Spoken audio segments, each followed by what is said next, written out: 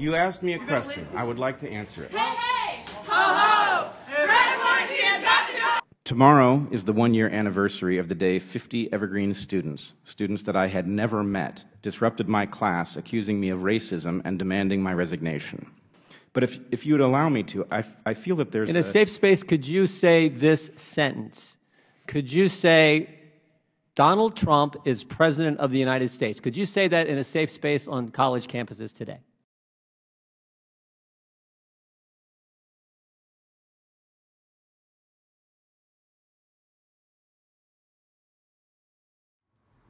Hi, my name is Tony DiGerolamo. I'm a writer. I've written for the Simpsons comics. I've written over 60 issues of that. Uh, I wrote for Politically Incorrect with Bill Maher. I've written a lot of comedy. I've written a lot of games and comics and cool stuff over the years. And uh, this time I am writing a political satire with my friend Christian. I think the reason we picked a novel for this story and not comic book like we've always done is uh, it's very topical. Comic books, it's it's tough to be topical, and it's a it's a very complex story. It would have required a ton of pages.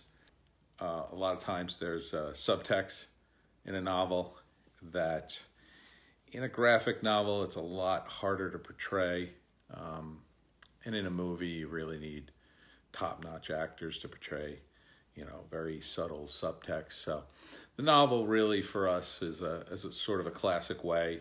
And when you're talking about politics, really it's something that needs to be read because people need to think about politics and what it's doing to their minds and what it's doing to their, you know, where they live. Uh, a lot of it was inspired by the Evergreen College situation, uh, the Gibson Bakery uh, protests and subsequent lawsuit, the Antifa riots, especially in Portland, and a lot of the videos that I saw about these things. So if you watch the videos from Evergreen, you can see the students meet with the dean, and that was one of the scenes in the book. Um, you know, it was just an absolute disaster for the dean because he didn't seem you know, an evergreen to understand exactly what he was confronting. He wasn't just confronting a bunch of students with some problems and that they were reasonable. He was confronting essentially zealots who were protecting their dogma. So that's what we do in uh, Wokeistan, and actually we take it a step further. They're not just protecting their dogma, it's part of their plan to unravel the college further and completely undermine the dean. They've they've lured him into a trap in this meeting, and uh, Mundell knows that and tries to help him, but the dean is too arrogant and realizes too late what he's fallen into.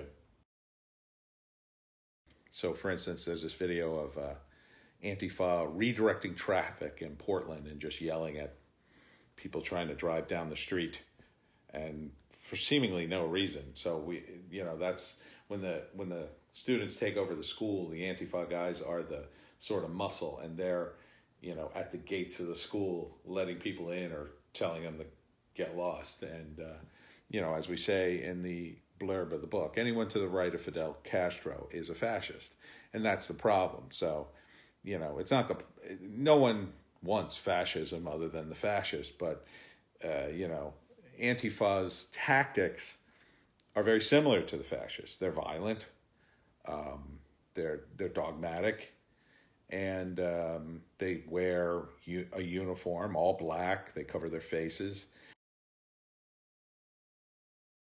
All the elements that created Trump's opportunity are not only still here, but they're much worse.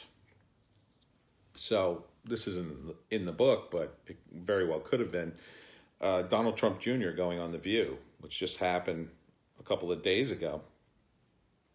You see the media elites, in this case, the ladies on The View, they're so arrogant and so full of hypocrisy that they can't even say Donald Trump's name in in an it was essentially just a TV show interview with a guy promoting a book. Happens every day, and rather than just do it, they have to look self-righteous and virtue signal to their audience that you know they hate him, they hate Donald Trump, they hate everything he stands for, and it's it's just gone too far. Like you hate him so much, but you still had him on the show. Um, you know, if you're gonna have him on the show, say his name, and if you're going to have a reasonable conversation, have one. If you're supposedly real. So Donald Trump Jr. Uh, called them out on some of their foibles and uh, they didn't really have an answer. They just kind of denied them, right? So he called Joy Behar out on uh, wearing blackface, and to which their response was, "Well, it wasn't blackface." Um, and now it's all over the internet, which Donald Trump Jr. absolutely knew that was going to happen. So it shows you how the ladies of the View they don't understand how media works anymore.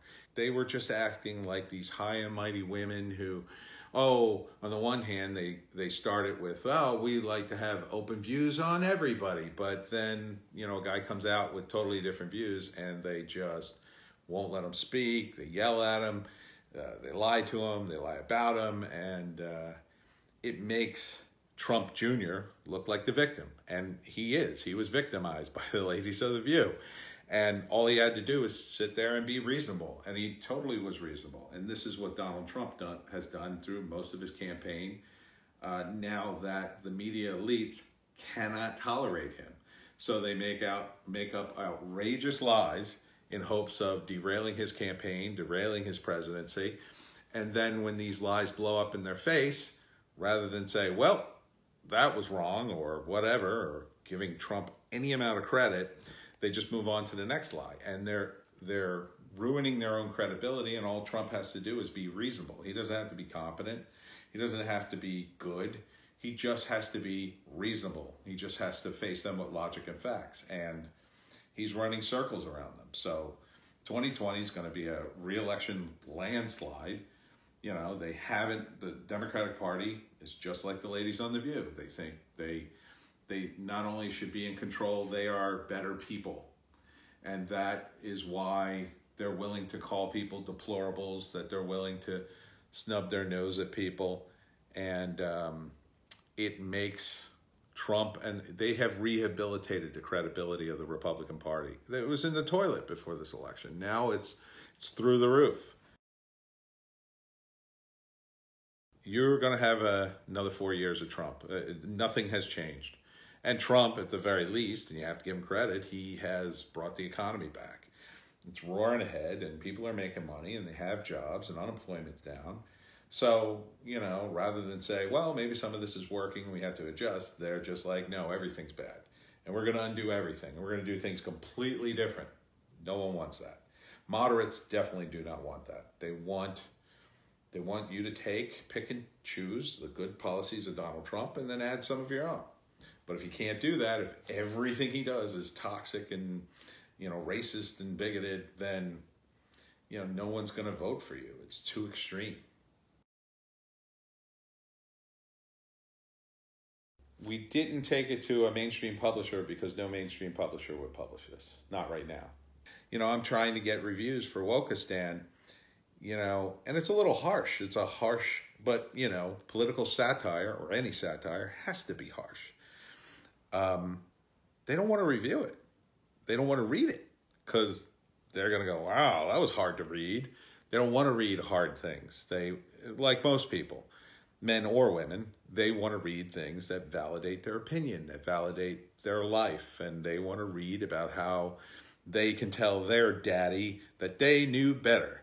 So Wokeistan says mostly to women because understanding that leftist ideology tends to skew female, that it's gone too far. You know, we have in the book uh, a lot of the fe- male to female relationships fail because it is mostly the women embracing this limitless potential that they just don't see any reason to compromise.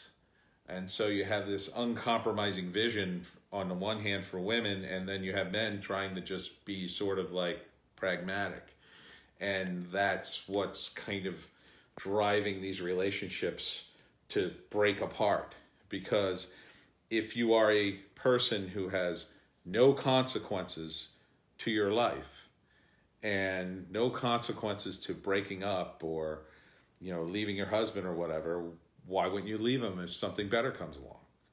What does love matter? Because you know eventually you're with somebody long enough you're at some point going to be mad at them or annoyed with them. And and you know if you could just leave whenever you want then what is marriage? What is relationships? They're nothing. And that's kind of where women are now in terms of the relationship and in terms of feminism. It's like, girl, you can have everything, and you can't. The most rewarding thing about writing Wokeistan is having a project that really says something because I think a lot of times people write books and they have nothing to say. You know, I think we said a lot in Wokeistan and that's why the book is sort of very tight and a lot of things happen and we have a million characters so you get to see a lot of different ideologies. So Wokeistan is uh, right now it's an ebook on amazon. You can download it or you can uh, read it under uh, kindle unlimited users. They can read books for free. Uh, we're going to get a print book out. We're planning on an audio book and then we're planning on sequels uh, exploring how the wokeness infects other aspects of society, media, uh, government, uh, all kinds of things. So uh, we have at least two other installments planned, maybe more. We'll see how it goes.